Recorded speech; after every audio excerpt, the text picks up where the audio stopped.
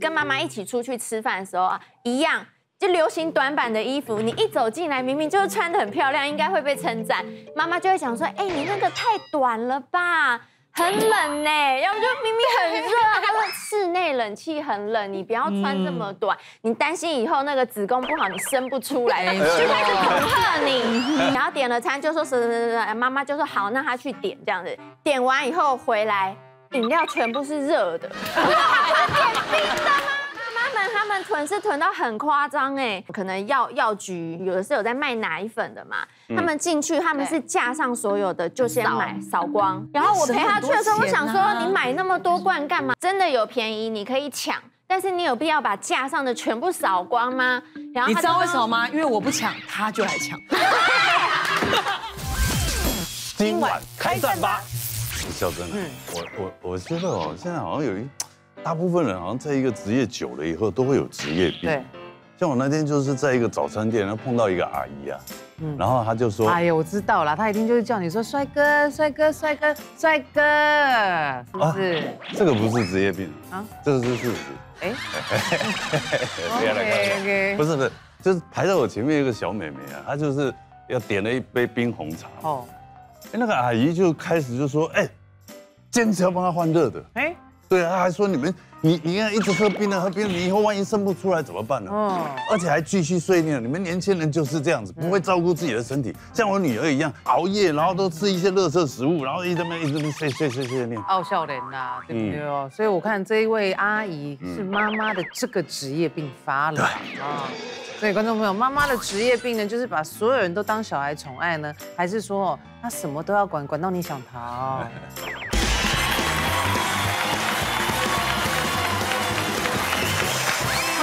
今晚开干妈，首先欢迎职业病无药可救的失控妈妈。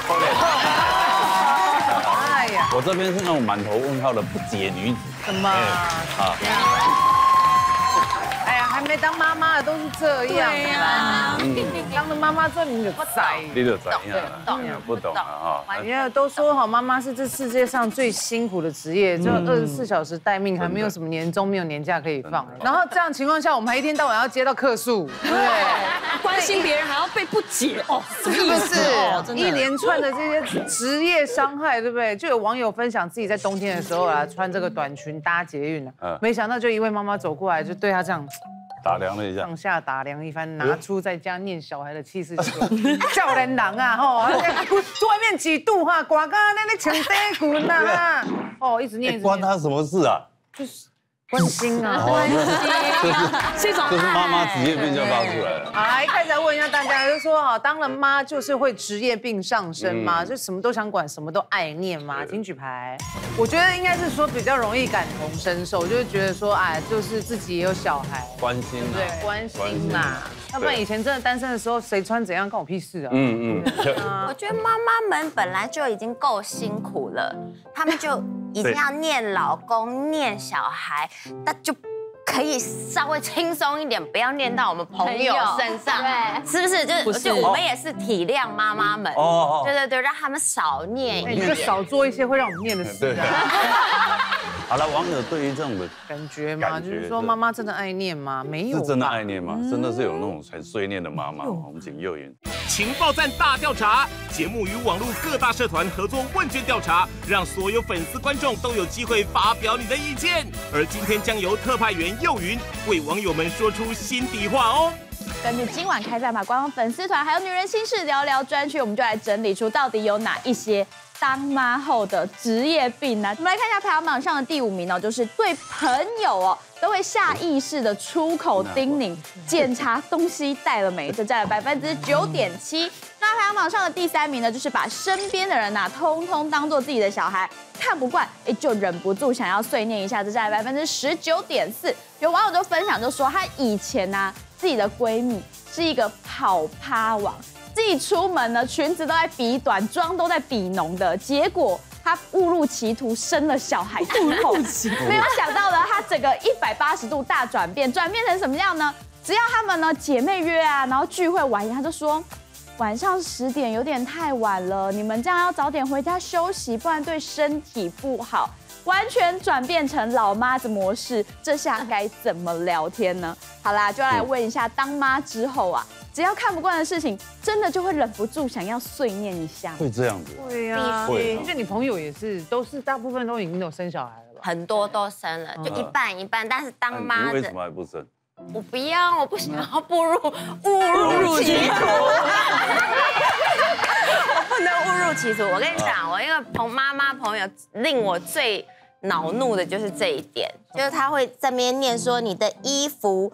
多到都没有路可以走了，我觉得就这样念一念当耳边风，我觉得就算了。但是呢，就是很多次我们姐妹好不容易可以瞧出一个聚会，因为你知道很多当妈的也很难出来。我们瞧到一个聚会呢，就在家想说吃吃小东西，喝喝小酒，悠悠哉哉。虽然家里不大，但是你就舒服就好，自由自在。对，但结果这位妈妈从门口开门一进来就说：“天哪，你东西怎么会多到这个地步？”然后就开始一路碎念。你看，你看那那一叠衣服是什么啊？那叠那叠那叠衣服跟这叠衣服有什么不一样？就是从头到尾，我说这一叠是新的，那一叠是穿过还不要洗的，然后就我每一叠还得介绍给他，然后他除了检查完客厅，还要进房间检查，然后甚至呢，他差点真的，他说，哎，你洗衣篮的衣服还没洗。然后我想说，关你什么事？帮你洗，那你就你就抓，那你帮我拿去洗啊？对，你为什么不丢去洗呢？他说你不洗，我帮你拿去。我说不要，拜托。然后我好不容易说服他，又从房间走出来，回到客厅，大家就已经悠悠哉哉要开始吃东西、喝东西，他停不住，嗯。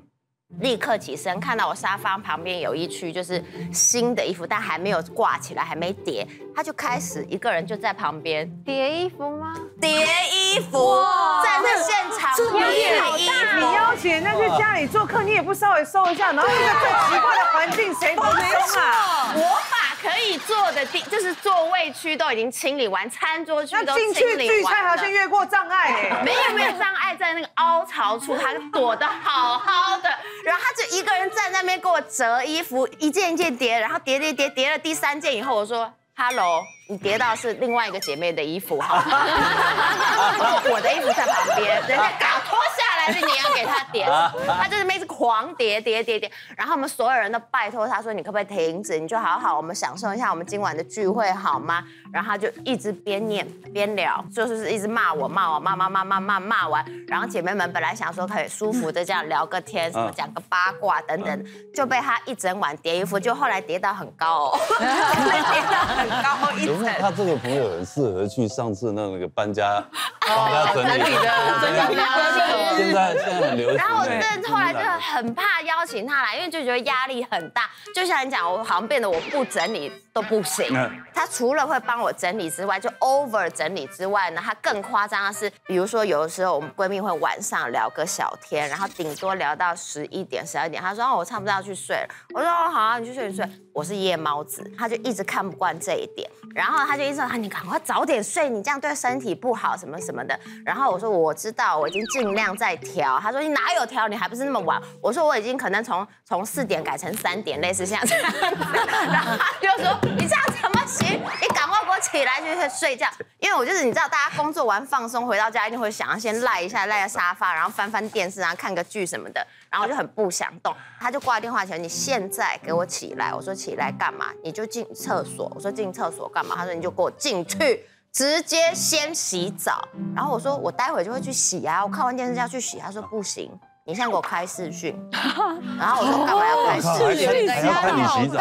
不是开视洗澡，他是要眼睁睁一定要看到我起身进厕所，问题你他才肯你进到厕所，你又坐在马桶那边，然后又看手机。对对对，对啊，对，但他不觉得，他觉得只要把我弄起身了就 OK 了，所以他就十一二点。所以你无法回到家就先洗澡，把东西弄好，再赖在沙发上。我不行，我一定是要赖赖过一轮，我才啊。可以去洗澡，你万一回来就是会有细菌呢？对，看妈妈，对，没错，这是妈妈会尝试，没错，我也都是到最后一刻要做。我跟你讲，因为这跟妈妈没有关系，这是我从国小回到家，我就第一件事一定会去洗澡，这叫做好的生活习惯，这是一个习惯。可是我没洗，我没洗澡前不会碰床，所以你就站在半空中吗？沙发，所以沙发也是有细菌。客厅的沙发，然后后来反正。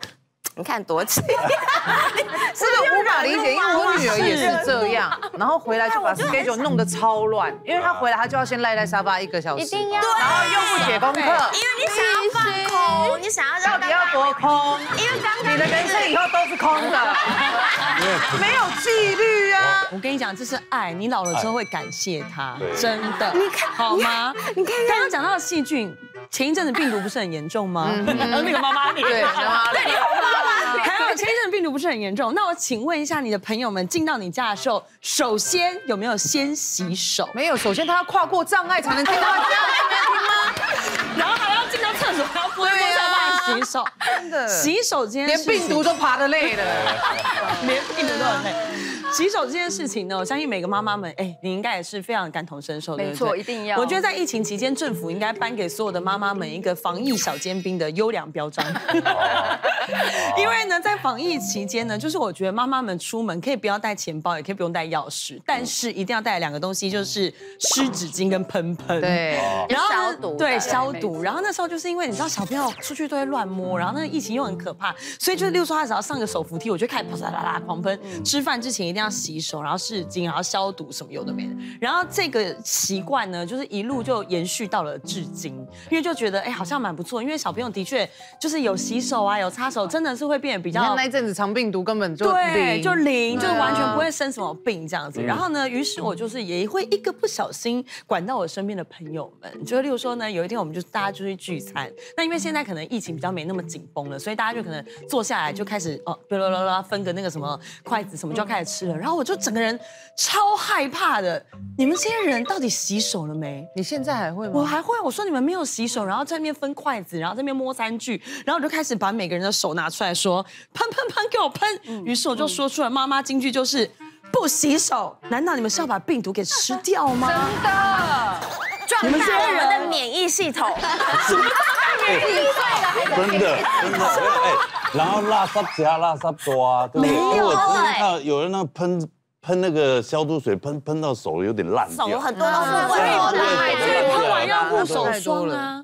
那个没有，那个真的没事就一直喷。但起码要洗手吧？洗手本来是在要洗手吧？洗洗手本来就是在有没有病毒。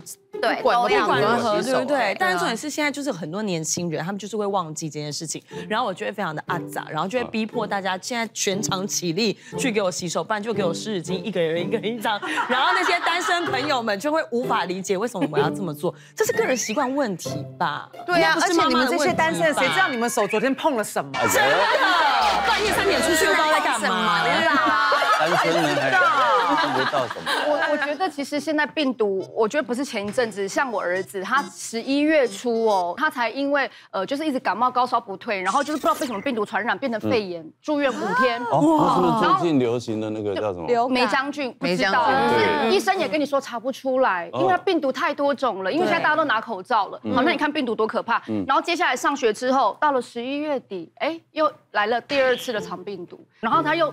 在家休息了一个礼拜，全班也停课一个礼拜，所以你们知道病毒对小朋友多可怕？即便到现在口罩禁令都已经拿掉了，我觉得还是要戴口罩，因为医生说就是因为大家口罩拿掉，所以整个病毒大融合才会那么多严重，而且不是只有小孩子，连大人都是。然后像我跟朋友约聚餐的时候，就大家基本的来一定就先去洗手，因为哪怕你刚刚坐捷运或开车干嘛，一定有灰尘，那你待会吃饭一定拿个东西就会有细菌，所以基本上洗完手之后，好催眠，不是，所以那个。有一点，喝点水，喝点水。是洗完手之后呢，我还会再喷。像你刚刚讲酒精很伤手，对不对？所以现在就有很多研发，像我就用钠离水，它就是什么不伤酒精的，对，它会还原成伤酒精，不不伤不伤手的，对，它不是酒精，它就是喷完手之后呢，然后对大家吃完饭，然后在期间，我朋友如果咳嗽。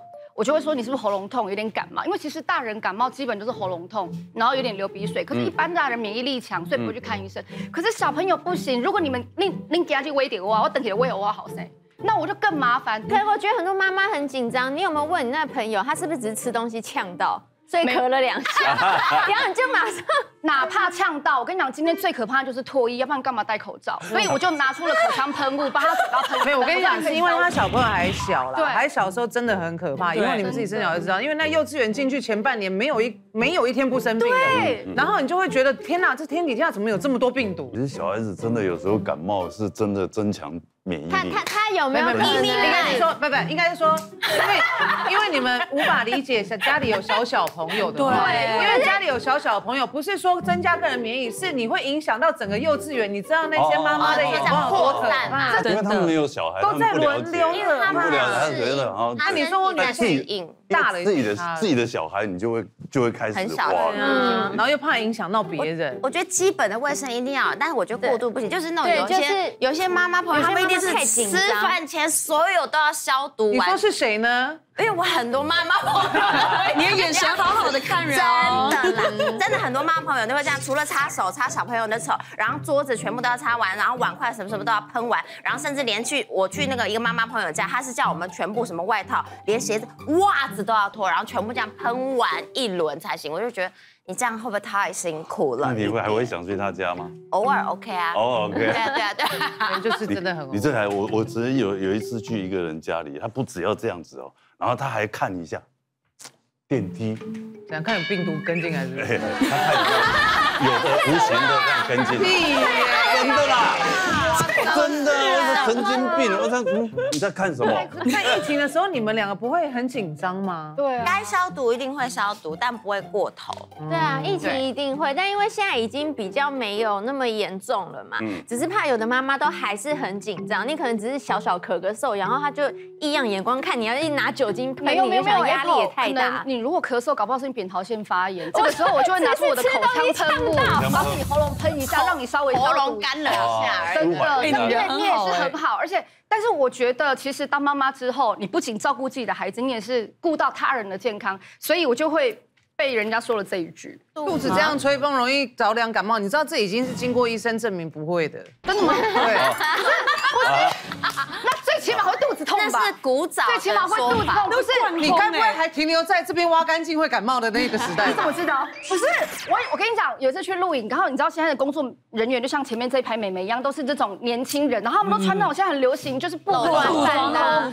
对，我就会很替他们担心。然后你知道录完影之后，我就去跟那个美眉讲说，哎，你晚上睡觉的时候，你记得肚脐一定要盖着，还是说你等下拿围巾把这边稍微盖一下，不然你这样很容易感冒，要不然等下会肚子痛。我其实很替他们担心真的。真的，你自己当妈之后，是不是看这些年轻妹妹都会挺替他们担心？没错，我有个年轻女生朋友，有一次也是给我穿这样露肚装，我就跟她讲说，我跟你讲，你那斗仔会灌红。然后重点是当下她还给我喝一个冰的火龙果汁，我说这火龙果也是凉的，然后你这边又着凉，然后你知道我朋友回我什么吗？我听你这样念，我心都凉了，真的。哎，你那你拍戏的时候，那整个那种工作同仁们，你们都会去管吗？我会看不惯，会念一下，所以他们年轻的离我很远，然后跟我在一起都是年纪比较大的，会互相取暖。对他们这样子穿真的不行，真的。对我们其实真的是为他好啊。那我想问妈妈们，你们这样照顾身体，子宫都很好吗？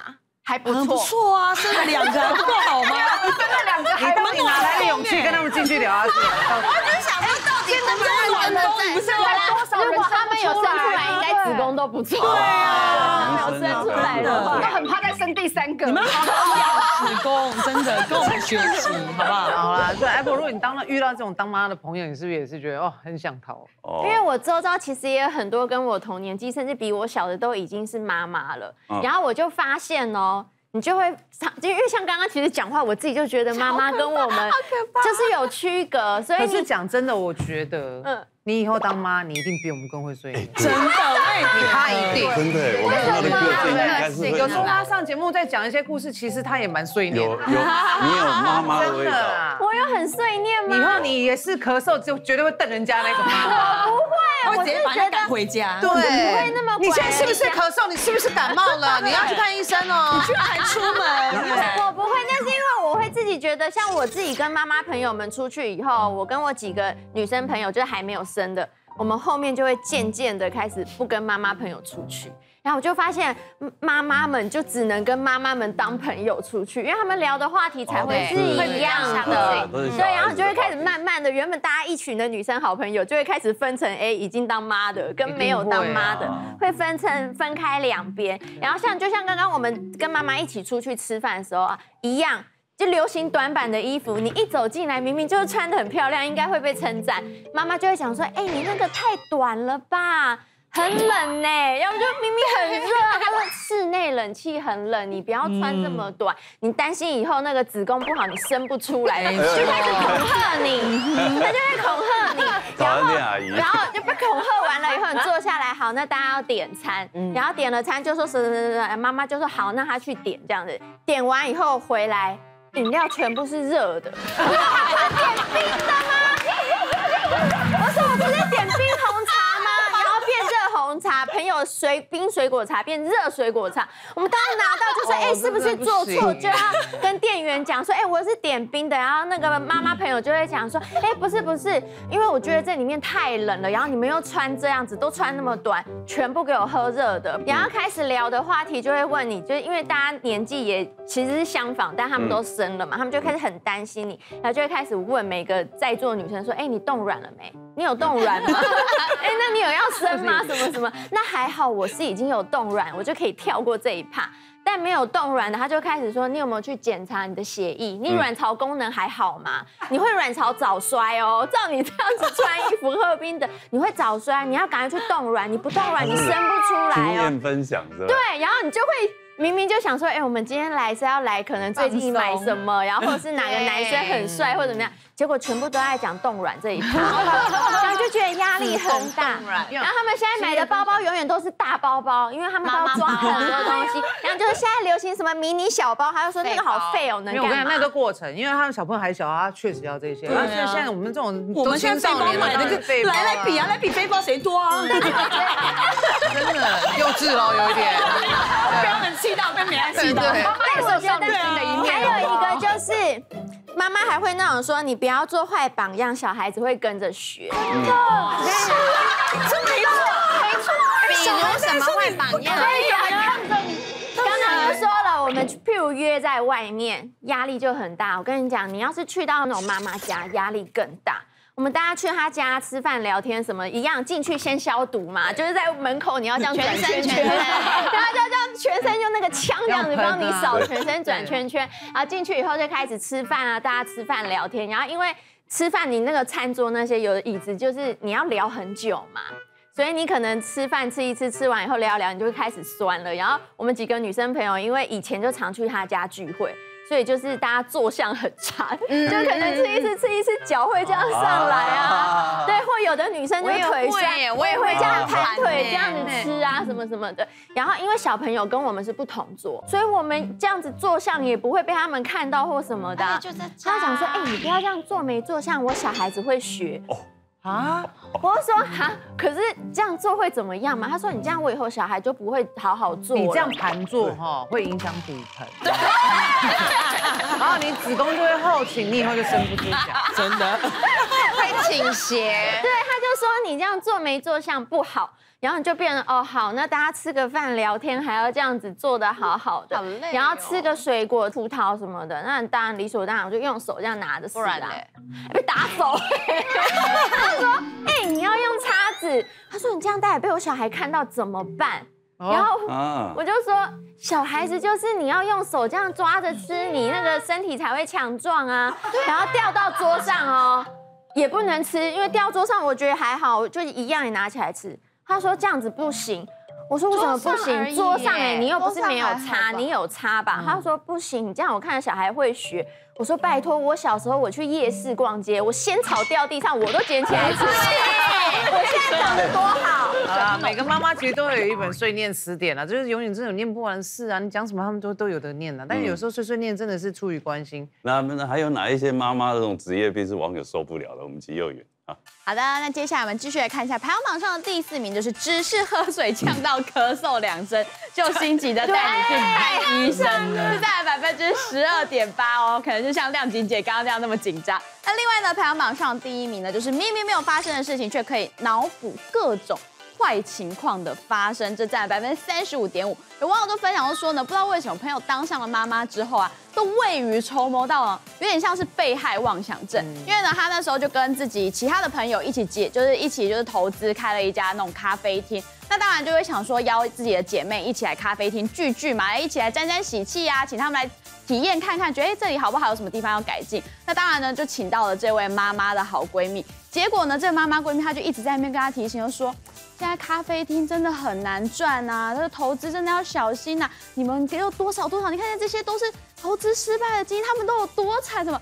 这让他们就觉得开店那种好兴致，完全就被这个朋友给破坏殆尽。好啦，凡事呢都在还没有发生之前，就先担心东，担心西，是不是这些当妈妈之后的镜头嘞？这件事情对心仪来说是超前部署，超前部署，对，这是超前部署计划是吧？对不对？对？啊，因为呢，就是计划永远赶不上变化，是，所以我们也受不了这种人。为什么？因为我真的觉得为什么那么悲观？对啊，不是悲观，就是因为我们就是要万一当下遇到什么状况，我们可以随时去应变。那因为当了妈之后呢，我就是非常注重就是各式各样的药品，嗯，因为以前其实呢，出门的时候不会想说带那么多药，但是你知道小朋友出门就很担心。他可能突然感冒啦，突然肚子痛，突然干嘛什么有的没的。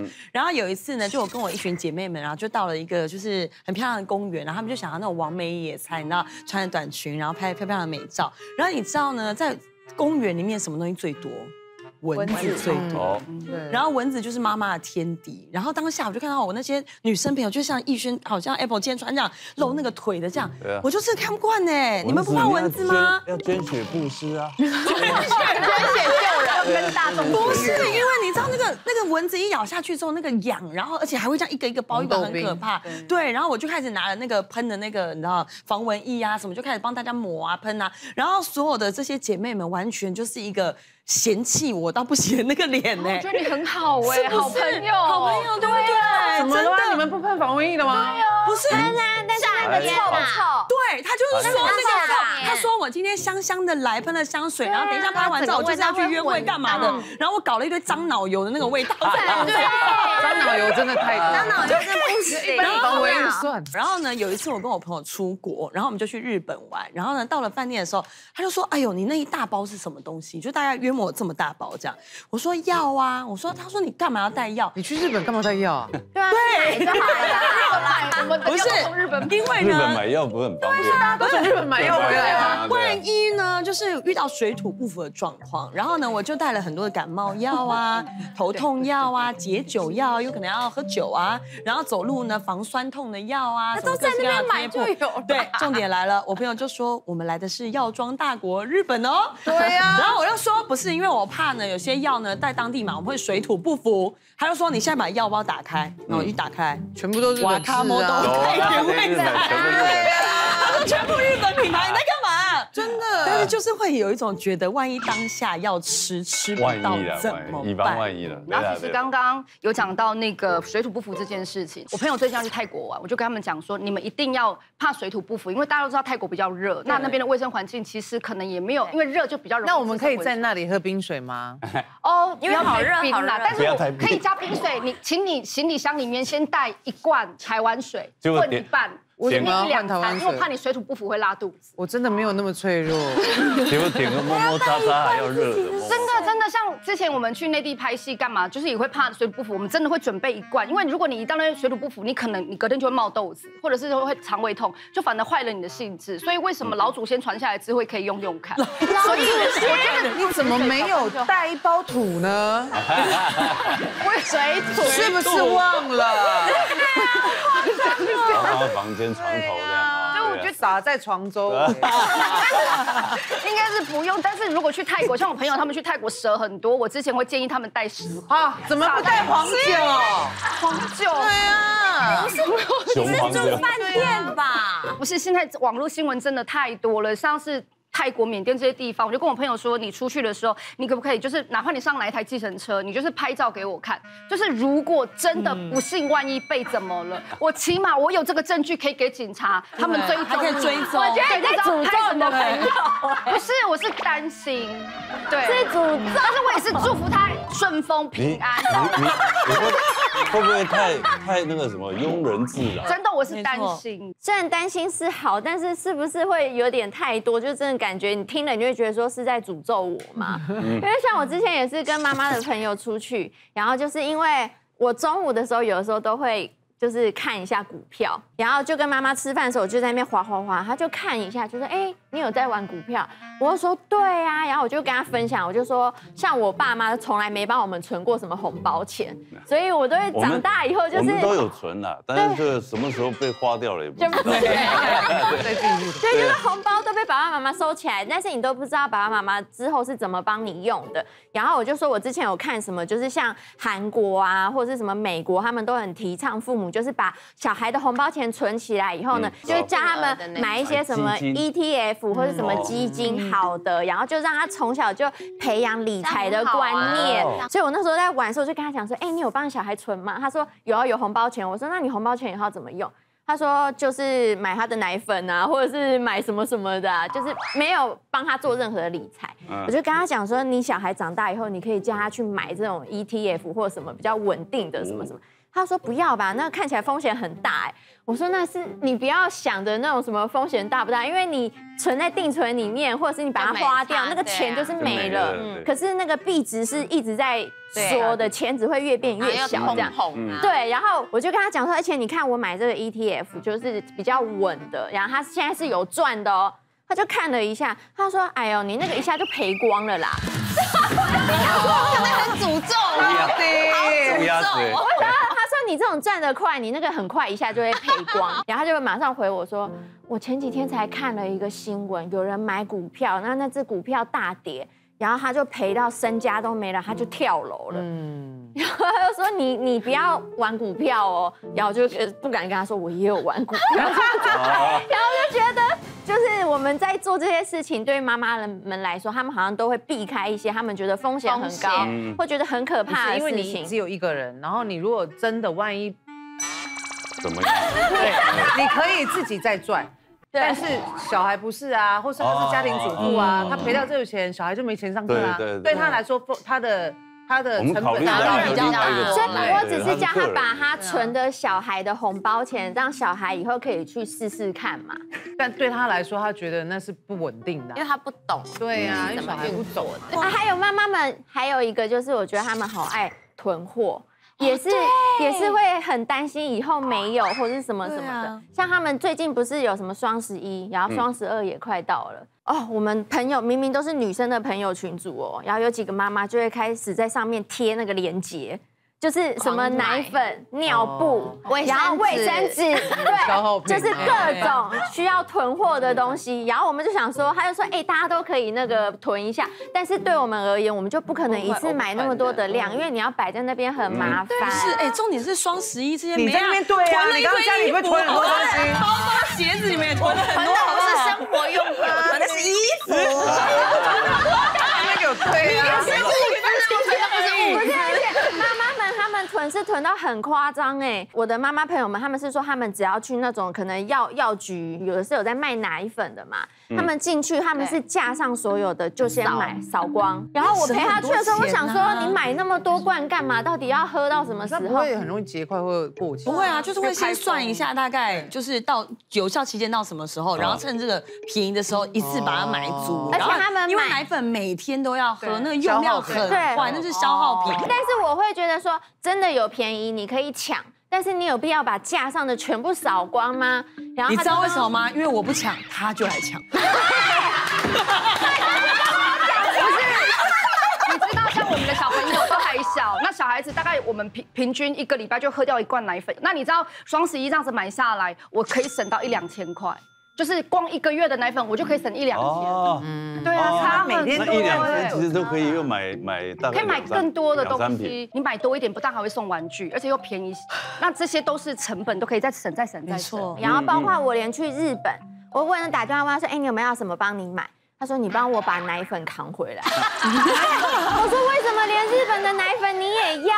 他想说：“你不知道吗？因为像台湾的奶粉其实就已经很难买了，因为他说会有很多什么，譬如香港或是大陆的会来买台湾的奶粉，所以台湾奶粉很难买，所以就帮朋友们扛回去。”他是买奶粉的朋友，我我我的妈妈朋友是 前阵不是缺什么蛋？然后有一阵子就缺盐，因为都已经抢不到，所以他们就会有恐慌症，甚至连女生朋友我们约出去要一起穿的漂漂亮亮要下午茶，但是还没有到那个下午茶的地点的时候，我们可能走在路上，哎，前面有便利店。就拉着我们要进去，只要有就立刻扫，不管是什么牌子、什么价位就扫。然后要不然就路过超市也是拉我们进去，路过卖场也是拉我们进去。然后你就是光沿路这样子买买买买买，没有个八盒也有个五盒。然后我们每个姐妹都要帮忙拎蛋，就是蛋这样囤容易过期啊。但我不知道他们在囤什么，然后他们就说蛋其实可以冰起来，因为他说蛋的用量很大。然后我想说蛋，好吧，蛋也就算了，那盐到底是用量有多大？就之前不是也是盐那个状况，他们也是这样一一包一包的扛。我想说，你每天是很久了，那是好多年前。对呀，就是从就是任何只要什么东西缺货，包括台风天，包括青菜要涨价，什么他们就会沿路先囤了再说，先囤了再说。然后我们这些坐旁边，在这旁边的姐妹们叫帮忙扛，然后。就是妈妈除了囤货一样，还有就是那个穷担心也是太多。就是我觉得担心的刚刚好就好了，因为之前队友我们也是这一票女生的朋友们说，一直要说要去吃一家很难订的餐厅，然后后来呢，我就上网爬爬爬爬爬文，然后就找到竟然会有卖家。在代代牌，很很代订代牌，那他就多收多收。对对，只要比如说我们好这些呃六个人，他就一个人只要多收一百块，我就收你一个人一百块的服务费的意思。然后其实剩下的你去餐厅用完餐，你在现场付就好，听起来很 OK 很合理吧，对不对？而且一个人只有一百块。然后我就跟妈妈姐姐妹们他们讲说，哎，我有这个方法，我我干脆来买这样找这个代牌什么的。然后那个妈妈就说不行，是诈骗。有鬼！网络上真的太多这种东西，像之前那个 Blackpink 的票啊，然后我朋友也是在网络上购买，然后就直接被诈骗三四万块。哦，那个我知道。对啊，然后就是没有收到票，就真的就是钱汇过去，然后就票无声无息。可是代牌餐厅他才收你一百。对，没有没有，他不是收你一百哦，你几个人去吃？就五六个人五百。哇！还算人头的，是吧？还代牌有算人头，十个人就一千哦，积少成多的诈骗。然后他就真的，他是算人头的吗？他算人头就一个人只收一百啊，我要买六张，我就是六百而已啊，就这样子啊。算划得来啊，算划得来啊。不是，那是积少成多的诈骗。他看这个人啊，你觉得好像很便宜，所以你就给他骗了。你也觉得很便宜，你也给他骗了。他骗了好多人之后，他就诈骗好多钱了。可是这是现在真的有这个，好讨厌的这个。因为现在其实不止台湾，现在全球都有。日本现在有很多这种待定的网站啊，但他就是收你服务费，很便宜。然后他就一直一要阻止我们不要花这个钱，不要哪一间餐厅？哪一间餐厅？你要跟姐讲啊，姐帮你订。对吗？你看他订什么？你跟我说，我帮你订，需要服务收你两百就好。诈骗，诈骗，诈骗，小心诈骗，还是朋友诈骗，百两百哦。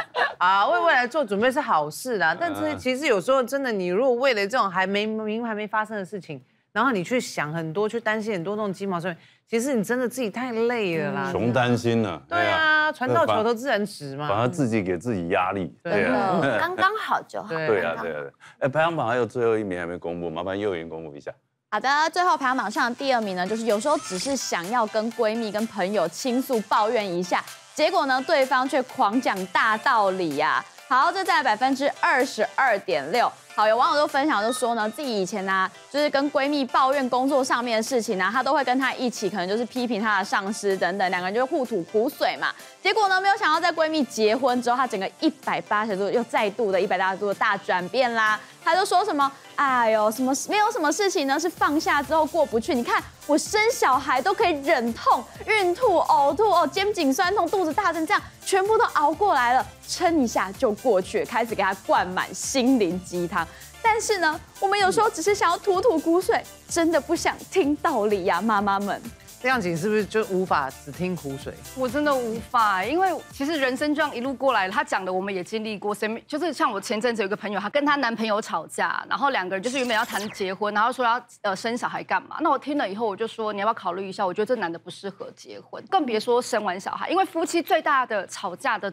磨合点就在育，对教育，因为毕竟来自不同的家庭，嗯，所以我就会跟他讲说，如果你男朋友在结婚前，你们是男女朋友，就是这种状况，你无法忍受，他也不能去包容你的话，哇，那结婚之后更别不可能期望他会改变，因为这真的太难了，连生完小孩之后。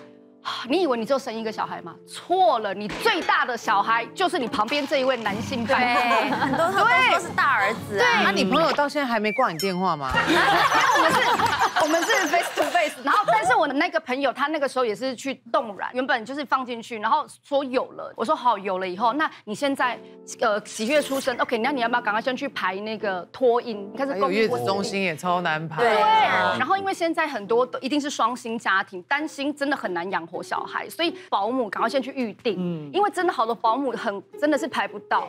然后他就说，呃，我应该有爸爸，就是我妈妈应该可以帮忙。我说好，那你赶快去问阿姨，还是说是你老公他妈妈，如果有后援是最好的。那我朋友听完我讲完以后，他说。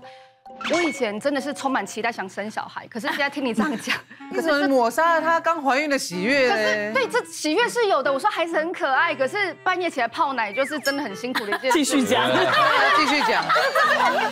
这就像您刚刚讲的，我现在正在面临他现在就是在这个喜悦，他因为他正在开是未知的，那这些就是要他自己慢慢去体验呢。对，但我只是就是真的，我不想他，不希望他再跌倒，因为我真的在面临在找保姆这一块，我很很辛苦。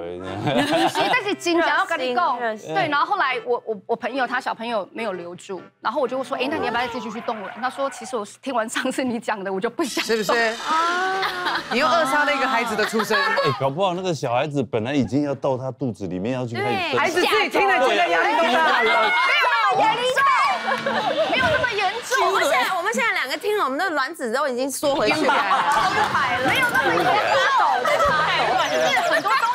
躲在角落瑟瑟发抖，其实真的要未雨绸缪啊！就像说是我会跟他们讲，像你们单身，我就会说，哎，那你们还没有结婚，如果你们真的不想结婚，你们要记得买长照险。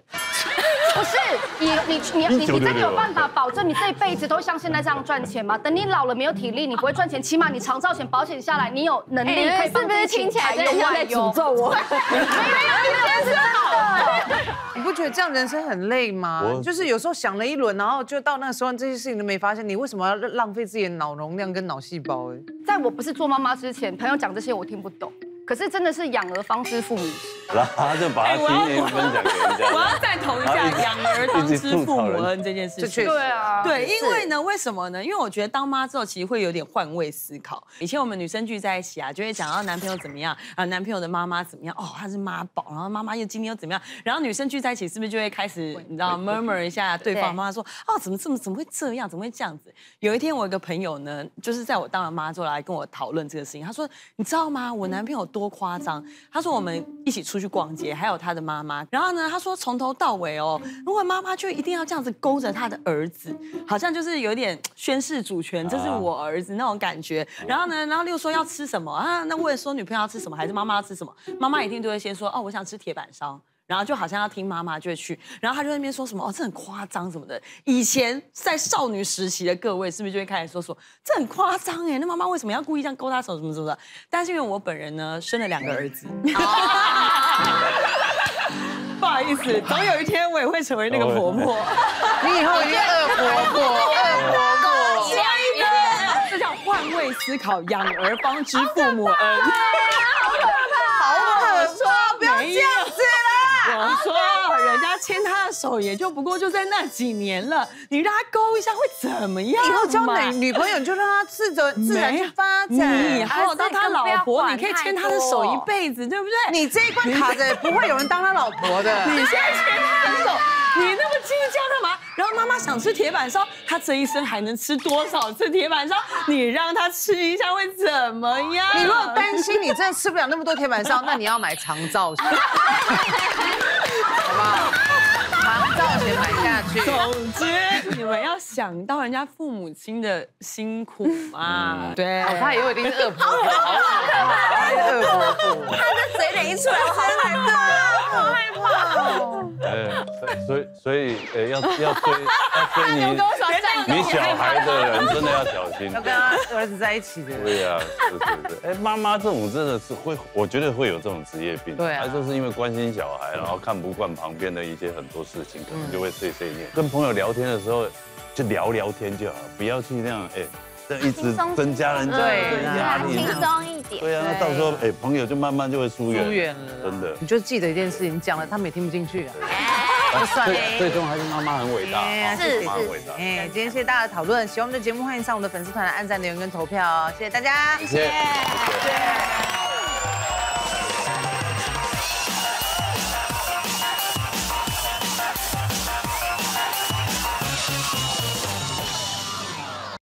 晚开战吧，让你永远选对边。今晚开战吧，让你总是被称赞。新形态互动式的综艺节目，快快来订阅，按下小铃铛，不要错过哦。